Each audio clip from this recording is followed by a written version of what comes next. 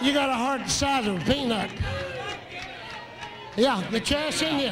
Oh, don't hold him back. You get, I tell you what I did. I'll give you twenty thousand dollars to climb your ass in here. Hey, my hair against yours.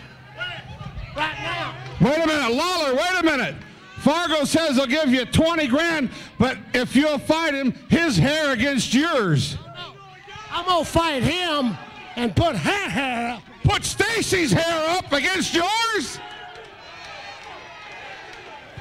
He says he wants to wrestle you one on one. He'll put up his hair, but you got to put up Stacy's hair shaved bald.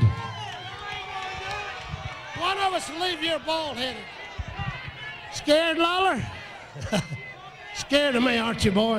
Hey, let me remind you of back 20 years ago. We're riding from uh, Lawrence, Alabama.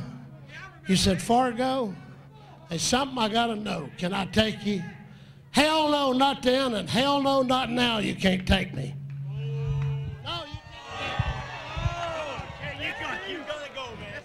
Let me tell you something, fabulous Jackie Fargo. Your fabulous days are long gone, just like your hair would be if I stepped in that ring. But you see, your old gray hair don't mean that much to me. That's right, because I guarantee you all I got to do is wait a few weeks, wait a few weeks, and your hair will all fall out in the shower anyway. Do you see this lovely head of hair right here? Huh? Do you think that your old gray hair is worth her hair? No way in hell, Jackie Fargo. No way in hell.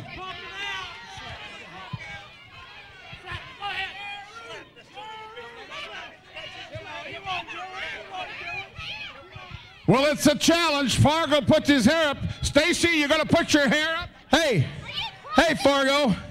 I heard you about a minute ago before you talked about hair. You said something about $20,000. Anybody happen to remember that?